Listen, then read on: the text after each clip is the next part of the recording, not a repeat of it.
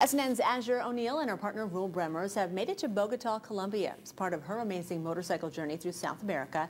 And in today's Ticket to Ride segment, she goes along with some stunt riders in Colombia's capital.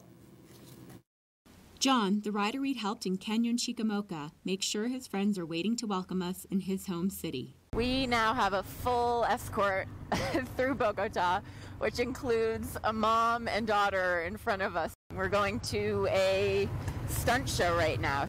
The members of Stunt House wow us with a wide array of tricks. Instructor Arturo Piolín is Colombia's number one stunt rider.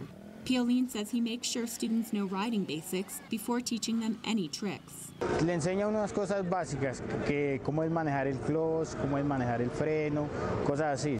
The club insists I have a personal demonstration. Okay. Como esto, y nada más, ¿sí? Ok, y mis pies acá, aquí. Ooh. Okay. I was basically told to hang on for dear life. Okay, despacio está bien.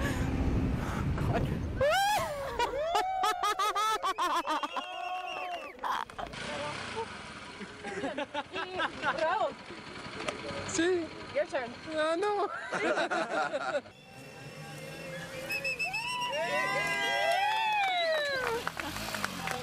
After seeing the moto side of the city, we meet up with Camila, who had invited us to visit her when we met in Villa de Leyva.